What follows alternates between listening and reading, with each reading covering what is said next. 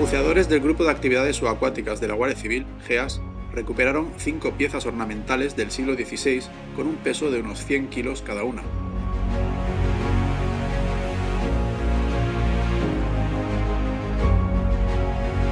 Estas piezas pertenecientes a patrimonio histórico podrían pertenecer a un antiguo espolón ubicado en la ribera del río Pisuerga.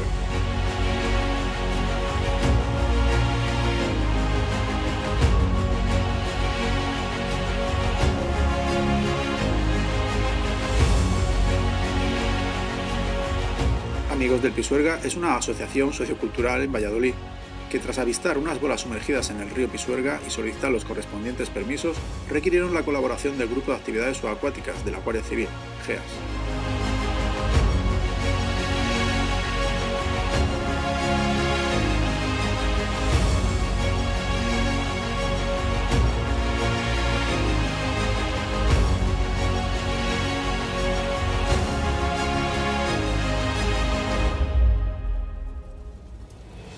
Realizar varias inmersiones y con la dificultad que conlleva la escasa visibilidad que lleva el agua del río, hubo que esperar que las condiciones fueran idóneas para la extracción de las pesadas piezas que podrían ser del siglo XVI.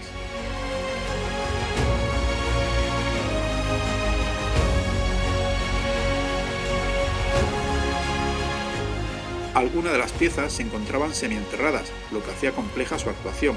Hubo que hacer uso de pico para desenterrar alguna de las bolas y se utilizó herramienta de succión de los lodos del fondo para la liberación de las mismas y recuperación de los elementos de relevancia histórica.